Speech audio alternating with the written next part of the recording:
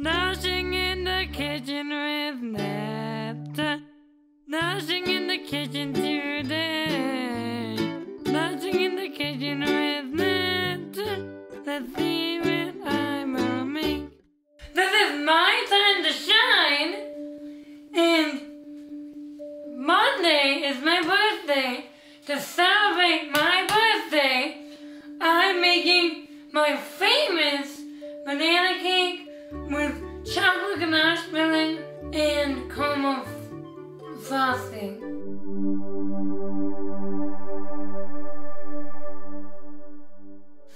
I'm washing my hands they be clean, drying my hands to stay nice and dry. Here's what you will need for this cake. Bananas,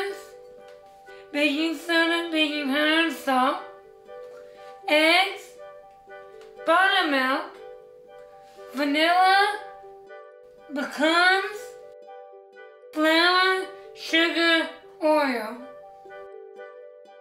In order to make dairy-free buttermilk, all you need to do is take almond milk and if you don't have apple cider vinegar, you can use lemon juice instead.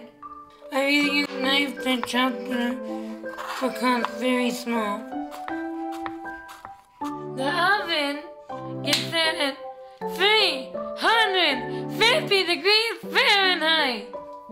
Time to put the dry ingredients right into the bowl. Sugar, baking soda, salt, and baking powder, and the flour. Nice movement, huh? I'm mashing the bananas before I add all the ingredients into the bowl. I added the buttermilk into the bananas snaps and then the vanilla.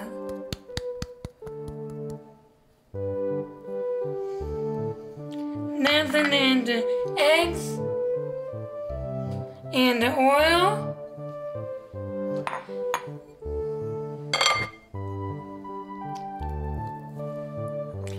I'm putting this in the sink now.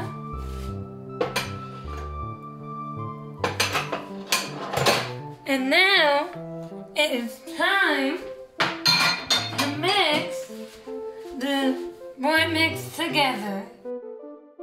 Here I go. I'm starting on low now. Now I'm blending it all together.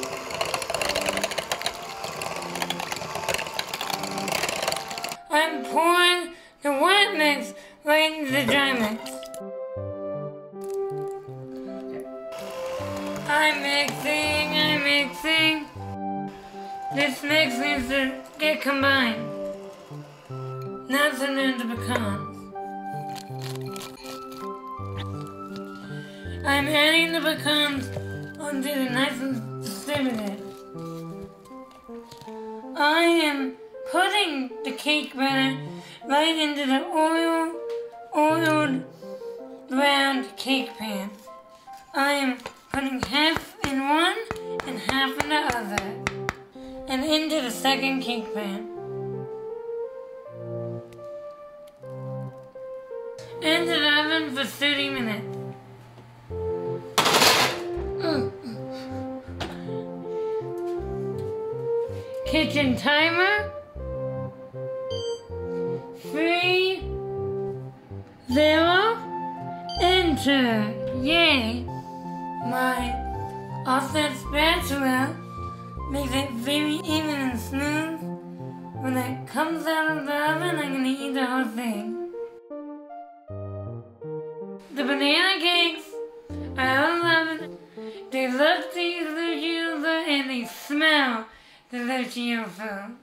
Today we're gonna make a chocolate ganache that only uses two ingredients, chocolate and coconut milk inside the banana cake. I'm putting the chocolate in. Now I'm gonna add the coconut milk.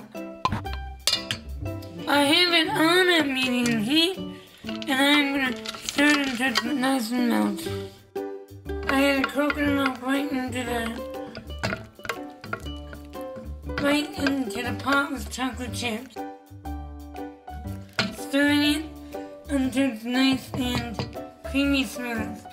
This is the Lazy Susan, and I have a cake board on it, and then I have the cake on it, there's some ganache on it, and then I'm going to make my way into this corner right here. Three corners and an edge.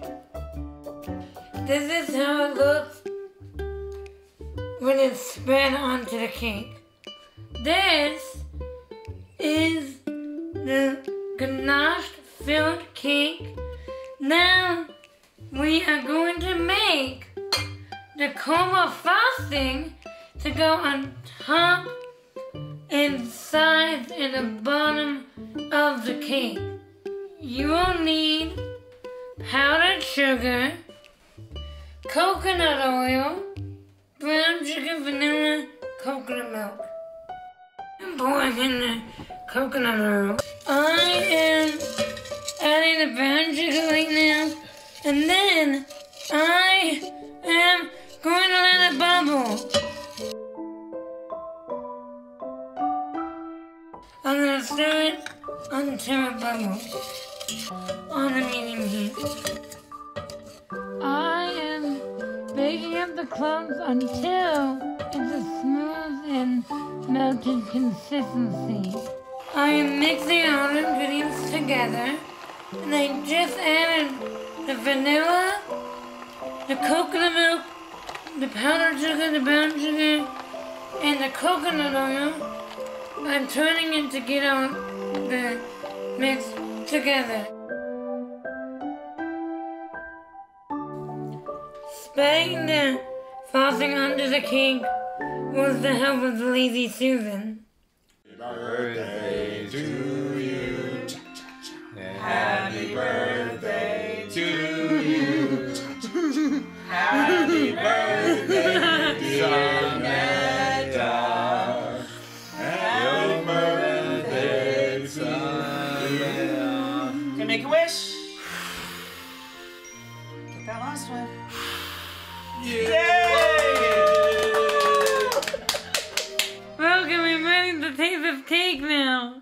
Are you gonna take the candles out? Yeah?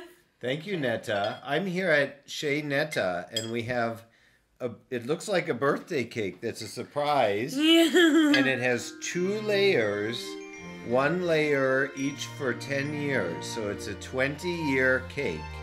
How is that cake, Netta? How many bananas are in here? I feel like this is a hundred. Three. Three bananas. Yeah. How do you get so much banana flavor out I of three know. bananas? This is amazing.